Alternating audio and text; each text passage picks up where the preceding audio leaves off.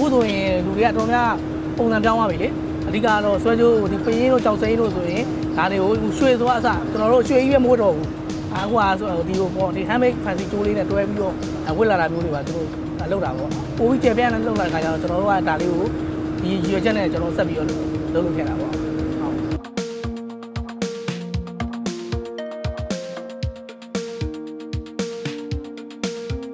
ဒီလုပ်ငန်းကဘာကြောင့်လဲဆိုတာတော့ ဟိုအရင်တော့ကတော့ကျွန်တော်တို့အဖေတွေကဒီလုပ်ငန်းကိုစပြီးလုပ်ခဲ့တယ်ဒါပေမဲ့တော့နောက်ပိုင်းမှာတော့ကျွန်တော်တို့ကလူငယ်တွေအတွက်လူငယ်တွေအပြင်ကိုဟိုတော်တော်များများဆိုရင်ရန်ကုန်မှာဆိုရင်ဒီလို handmade ဆိုင်လေးတွေက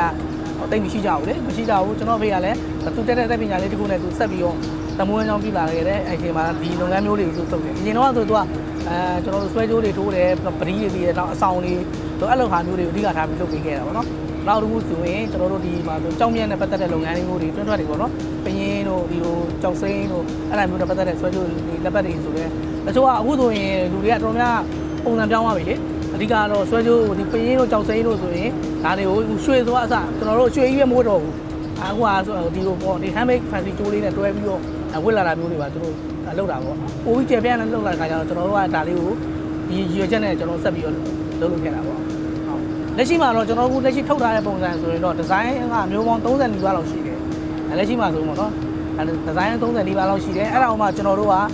ဒီဟိုဒီဒီဇိုင်းလေးတွေဆိုရင်ဒါဆိုတော့ပေါ်လာတဲ့ဒီဇိုင်းအသစ်လေးတွေပေါ့နော်ဒီဒီဇိုင်းလေးတော့ကျွန်တော်တို့ဒါလေးကိုဒီတော့ဒါကြောင့်ကျွန်တော်ဒါပိုးကျိုးလို့ပေါ့နော်ဒီပိုးကျိုးနဲ့အဓိကထားပြီးတော့ကျွန်တော်ကသုံးပြီးတယ်ပြီးလို့ရှိရင်တော့ဒီကိုချီဒီဇိုင်းလေးတွေပေါ့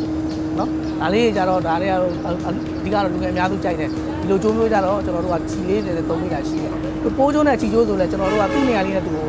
အောင်ဘယ်လိုခေါ်မလဲဟိုလှအောင်ပေါ့နော်လှအောင်နဲ့အဆင်ပြေအောင်တော့ကျွန်တော်ထည့်ပြီးသုံးပြီးတာမျိုးလို့ရှိတယ်ပေါ့နော်အဓိကတော့ကျွန်တော်ဒီဘောတော့ဥကျော်ကိုယ်တိုင်ကသူကလည်းသူ့ရဲ့ဒီတငယ်ချင်းတယောက်စီကနေပေါ့သူဟိုဒါတွေကတော့ဘယ်လိုခေါ်မလဲဆိုတော့ဒီလိုပေါ့တစ်စင်းနဲ့တစ်စင်း share ပြီးတော့တိတာခဲ့တယ်အဲ့ဒါအောင်မှသူတိတဲ့အတိကိုသူကနေရောနောက်ထပ်တကကြကြပြပြနဲ့ဟိုဘယ်လိုခေါ်မလဲဆိုတော့တိုံနဲ့မဟုတ်ဘူးလေ အများလုံးလို့ရနိုင်တဲ့အနေဒါဟိုခေတ်တကူကတော့ပုံစံတစ်ခုဖြစ်သွားအောင်ဟိုအဲအားလုံးလည်းဝစ်စီခြင်းနဲ့အားလုံးလည်းအခုတော်များဟိုဘယ်လိုခေါ်မလဲဆိုတော့ပတ်ချင်ကြလာတယ်နောက်ပိုင်းကျမှဆိုလက်ပတ်ပဲပြီးဆွဲဆွဲပြီးအားလုံးကပတ်လာတဲ့ခါကျတော့ဒါကိုလုပ်ငန်း professional အစ်စ်ပုံစံမျိုးနဲ့ကျွမ်းကျင်အောင်လို့သူလည်းအများကြီးလေ့ကျင့်ခဲ့ရတာပါဟုတ်ပြီးတော့မှကျွန်တော်တို့ကလည်းဒါကိုဆက်ဆက်ပြီးတော့ဟိုကိုယ်တိုင်လည်း YouTube တို့ internet ကနေတော့ရှာဖွေပြီးတော့လေပြီးညမ်းပြီးတော့သူတို့ဟာလေးတွေကိုကြည့်ရတယ်ပြီးလို့ရှိရင်သူတို့ရဲ့ပုံစံလေးသူဘလို့သုံးတာလေးအဲအဲ့လိုမျိုးပေါ့ဆိုတော့နောက်ဆုံးဒီကျွန်တော်တို့ဒီ အသီးလေးတွေနဲ့တွဲသုံးမယ်ကြောင်စိမ်းလေးနဲ့တွဲသုံးမယ်ပင်းလေးနဲ့တွဲသုံးမယ်ဘယ်လိုပုံစံမျိုးလုပ်လို့ရနိုင်လဲဆိုတော့ဒါမျိုးလေးပေါ့ကျွန်တော်တို့ကလည်းအဲ့လိုမျိုးလေ့လာခဲ့ရတာလည်းအများကြီးပါပဲဗျအဲလက်ရှိကတော့အဖေလုပ်ခဲ့တာကြတော့နှစ်ပေါင်း2000ခုနှစ်လောက်တည်းလုပ်ခဲ့တာဆိုနှစ်ပေါင်း20ကျော်ပေါ့နော်22နှစ်လောက်ရှိပြီပေါ့ဒါပေမဲ့ဒီတိုးလုပ်ငန်းတွေကိုတော့ကြည်ကြည်ပြင်းပြင်းလုပ်လာခဲ့တာတော့အဲဒီ2015လောက်ကစပြီးတော့ကျွန်တော်တို့ကြည်ကြည်ပြင်းပြင်းလုပ်လာတယ်ပေါ့နော်အဲ2018မှာဆိုတော့ကျွန်တော်တို့သပင်နဲ့ထိုးတဲ့အဲဟိုလေးပေါ့နော်အဲ့ဒါလေးခစ်စားလာတဲ့ခါကျတော့ကျွန်တော်တို့နောက်ပိုင်းမှာအဲ့ဒါလေးကိုစောင့်တက်ပြီးတာပေါ့နော်ဒီ ကျိုးတွေကတော့အများစုကတော့ဒါဒီဘယ်လိုခေါ်မလဲဆိုတော့ဒီ passion အတွက်ကိုပဲပြန်ပြီးတန်သုံးတဲ့အကျိုးတွေပေါ့နော်ဒါတွေကတော့အဓိကစွဲကျိုးလက်ပတ်အဲဆိုအဲ့လိုမျိုးတွေသုံးမယ်နောက်ဒီအခြားသောလုပ်ငန်းတွေမှာလည်းအဲ့လိုမျိုးသူနဲ့ဆက်ဆက်တဲ့လုပ်ငန်းတွေမှာတော့ထည့်သုံးတာမျိုးရှိတယ်ဒါပေမဲ့ကျွန်တော်တို့ကတော့ဒါတော့ဒီစွဲကျိုးတို့လက်ပတ်တို့အတွက်ကိုပဲကျွန်တော်အဓိကထားပြီးသုံးပြီးတော့လက်ရှိဒီမှာတော့စိုင်အနေထားကတော့ဈေးကွက်အနေထားကတော့ဟိုလက်လီပုံစံမျိုးတဲ့ဟိုနော်ဒီကျွန်တော်တို့ကလုပ်ငန်းကသွားတာတော့ ဒီမှာဆိုင်မှာဆိုရင်လက်လီလည်းရောင်းတယ်လက်ကားပုံစံနဲ့လုပ်နေတယ်ဆိုရင်ကျွန်တော်တို့ကအော်ဒါလက်ခံပြီးတော့ကျွန်တော်တို့လုပ်ပေးတာမျိုးရှိတယ်အဓိကကျွန်တော်တို့တက်ကကတော့ဟိုဘယ်လိုကောင်းလဲဆိုလူငယ်တော်များများပေါ့နော်ပို့ပြီးတော့ဟိုဘယ်လိုကောင်းလဲဆိုဘုံဖြစ်လာတဲ့ပုံစံမျိုးမှာကျွန်တော်တို့ဈေးကွက်တစ်ခုအနေနဲ့ကျွန်တော်တို့အားလုံးဟိုဈေးနှုန်းတက်တာနဲ့ပတ်စီဟိုပတ်လို့ရတဲ့ပုံစံမျိုးပေါ့နော်ပုံစံလေးတစ်ခုတော့ကျွန်တော်သွားတာပေါ့ဟိုလိုမျိုးဈေးကွက်ရဲ့တော့ဒီမှာတော့ဘယ်လူရန်စားအတွက်ဒီလိုမျိုးတတ်မှတ်ထားတာမျိုးတော့မရှိပါဘူးလက်ရှိအနေထားကတော့ကျွန်တော်တို့ဟိုလိုကောင်းလဲဆိုဒီလုပ်ငန်းလေးကိုကျွန်တော်တို့ကလူသိများလာတယ်ဟို နည်းနည်းဟိုကောင်းလဲဆိုလူတွေပြည်သက်စိတ်ဝင်စားမှုများလာတယ်အားပေးလာကြတယ်ပေါ့နော်လူငယ်တုံးကအာလူငယ်တွေမဟုတ်ဘူးလူကြီးပိုင်းတွေအစားပေါ့နော်ဟိုသူတို့မှလိုရတဲ့ဟာ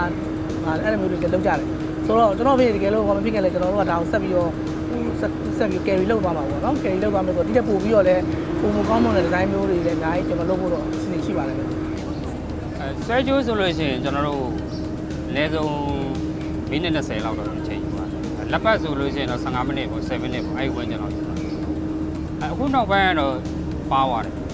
ဟိုရင်တော့ဆိုရင်တော့ကျွန်တော်တို့၄၅ရောက်တော့ဝိုင်းထိုးရတယ်အပေါ်နဲ့လေအဲ့လိုသပင်ကျက်တာတို့သပင်ကျက်တာကတော့ကျွန်တော်ကိုရဲ့အဓိကအောင်မြင်မှုပဲပေါ့နော်သပင်ကျက်တဲ့လုပ်ငန်းနဲ့ပဲအားလုံးလူသိများသွားတော့အားလုံးလူသိများသွားတော့အဲ့သပင်ကျက်တာအဓိကလောက်ရတယ်အဲအခုနောက်ပိုင်းကျတော့ကိုဗစ်နောက်ပိုင်းကျတော့အဲ့မှာသပင်ကျက်တာတွေပါတယ်လူငယ်တွေကလည်းတော်တော်လေးဟိုကျဲသွားတယ်ပေါ့နော်ပါသွားတယ်လုပ်ငန်းတွေလည်းနည်းနည်းပြန်ရပ်သွားတာပေါ့အဲ့လိုအခုကတော့ ဟိုပုံမှန်လောက်ပဲရှိပါတယ်ကျွန်တော်တို့မနေ့10နာရီညနေဆို9နာရီခွဲသိမ်းပါတယ်ကျွန်တော်တို့ကဈေးနှုန်းကတော့အတက်နိုင်ဆိုချိုးတောင်လုပ်ပေးပါတယ်အနည်းအများဆုံးကကျွန်တော်တို့1000ပါပဲဆွဲကြိုးဆိုရင်တော့ကျွန်တော်တို့2500 3000အဲ့လောက်ပဲယူပါတယ်ဟုတ်ဆိုင်ရဲ့နေရာကတော့ကျွန်တော်တို့ကဒီ30လမ်းထိပ်ဒီပီဇာပေးပေါ့စက်တွဲကုမ္ပဏီနဲ့ပီဇာပေးပေါ့